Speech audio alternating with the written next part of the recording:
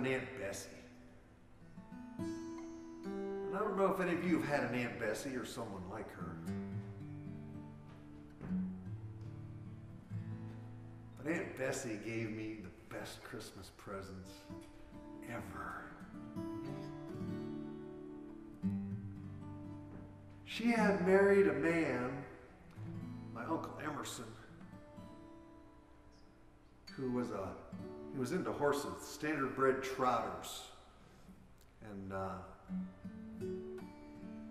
so I used to love to go up there and help him with his chores and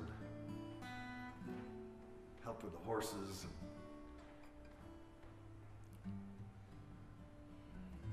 They were in western New York State. It was almost western New York State. They're in Wyoming County. It's about as west as you can get in New York. It literally felt like the like the West, not the Midwest, but the West. They're on a wide open bunch of fields, and the wind would just scream across in the winter. And they get a lot of lake effect snow up there. They're south of Rochester, east of Buffalo. A lot of snow, and so we wouldn't visit in the winter very often. But when we did, it was pretty intense and scary. Remember one year, my Aunt Bessie, she got me a real cowboy hat. Not a kid's cowboy hat, I was like eight years old or something, but a real cowboy hat. And I, I just wanted to be a cowboy in the worst way. I wanted a horse. I asked for a horse for Christmas. I did not get a horse.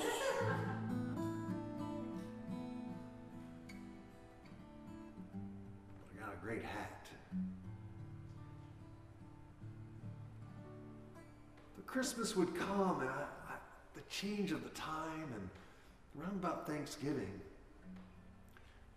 there's that moment when all of a sudden you realize it is not fall anymore, it's winter, and you walk out the back door and you look up and the stars are so bright, so sparkling. The air is crisp and dry, and you know snow is coming.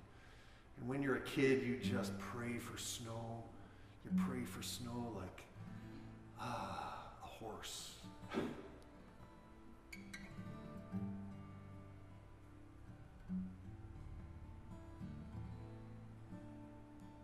And I didn't get a horse. That was okay. I could deal with that. But every year I asked for a drum set. My mom was a second grade teacher, and there was no way in hell that there was going to be a drum set in the same house as her, particularly after a day of teaching second graders. But you know, kids are hopeful. And every year I asked, I asked for a drum.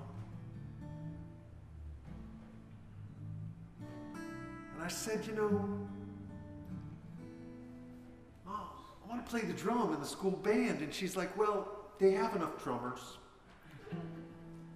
But I think, you know, if you learn to play the flute, you could play in the fife and drum band. I didn't want to play the fife, and I didn't want to play the flute. But in fourth grade, I was the only boy playing the darn flute. And it was also in fourth grade that I made my first public performance me and George Jurgens sang Stewball is a racehorse the fourth grade talent show, which I'd learned off of a Peter, Paul, and Mary record. And the thing is, my mom really didn't want drums in the house. She was pretty adamant about that. And I was like, well, okay, the flute, well, can I do drums next year? And she's like, how about the piano? The piano is a percussion instrument. My mom was a hypnotist, by the way. If you look inside the piano, she said, there are hammers and they're hitting the strings. That's percussion. So I started taking piano lessons. I never did very well with them because my piano teacher insisted that I try to read the actual music, and I just wanted to make my own stuff up. But I learned to play the piano, and I said, Mom, you know, I'd really like to learn to play the drums. And she said, You know, your father's guitar is in the closet and he never plays it. And that's a rhythm instrument, you know. So I started learning to play the guitar. But before all this music thing happened, it was Christmas time. My mom tucked me in, went downstairs, and she put the phonograph needle on the record. We had records in those days. You all remember, except Mike.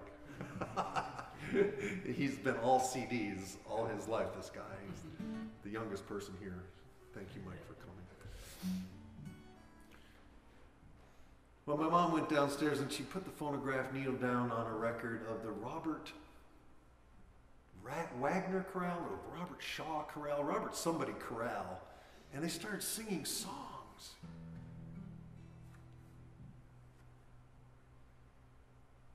And this song started floating up the stairs.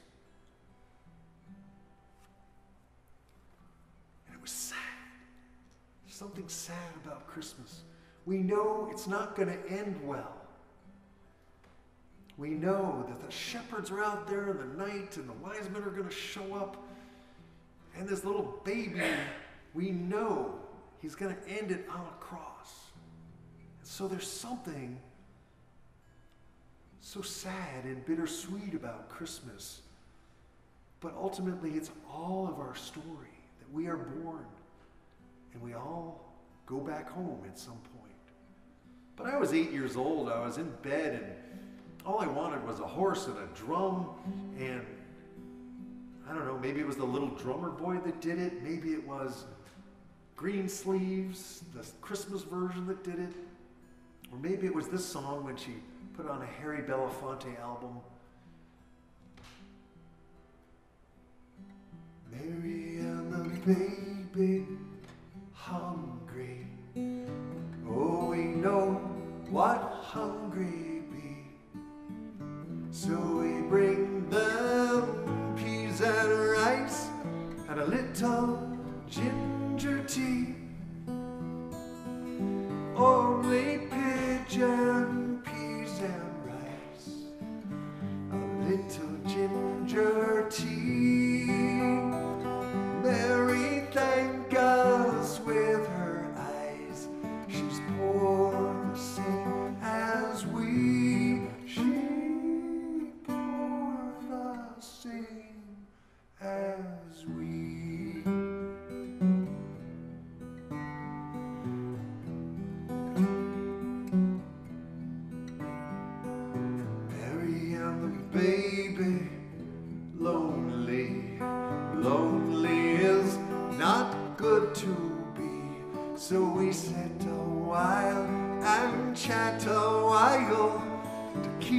them.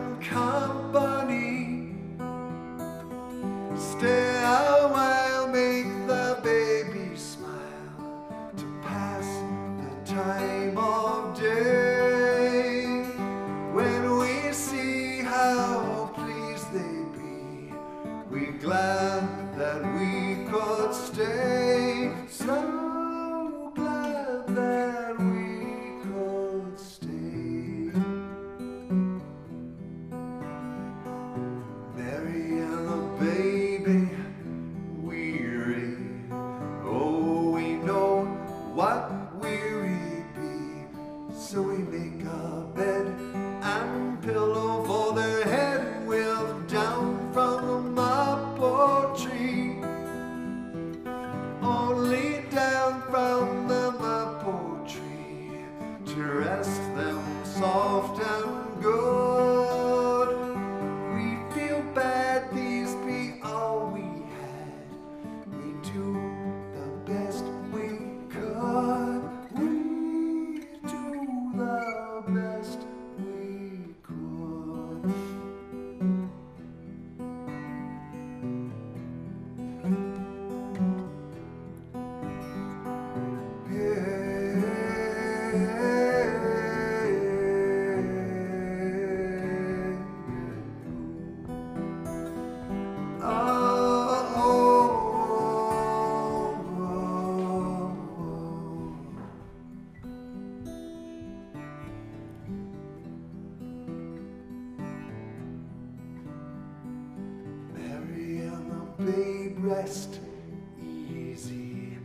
We go away and let them be on hush tiptoe with voice kept low. We look up and see star of hope shining in the sky to mark baby's birth. Seem to say it's borning day, a better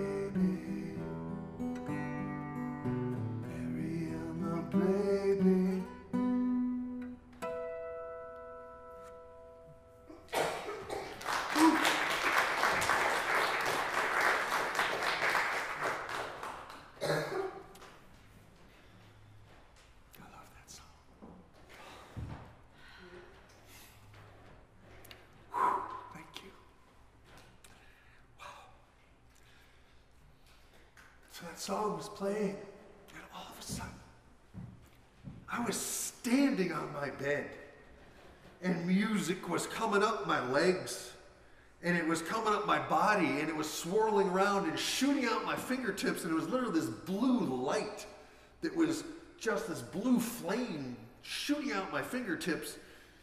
And uh, that's when music came in. And to me, Christmas.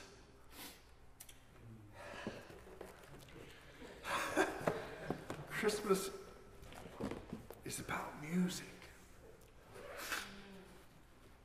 It's about light.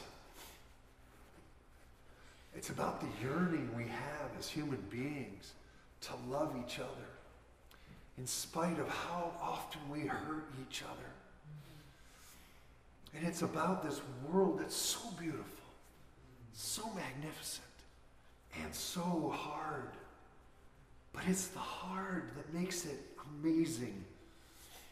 Because any creature that doesn't struggle doesn't thrive. Every motivational speaker worth his salt knows the story of the butterfly. If you help a butterfly out of the chrysalis, it doesn't have the struggle that it needs to pump the blood into its wings so that it can inflate those wings and fly. We're not here to buy a bunch of stuff at Christmas. We're not here to get stuck in the shiny things. We're here to be the shiny things. But it's not. It's not given, it's not out of the box. I'm studying how to grow things, how to, how to grow grass fed beef. And, and just as I was having my coffee today, I read a paragraph by this farmer out in Missouri. And he said, You know, a baby calf is born with its summer coat. So, why are we having calves be born in the winter? Why are we trying to change nature when, if we work with nature, it's still hard, but it works better?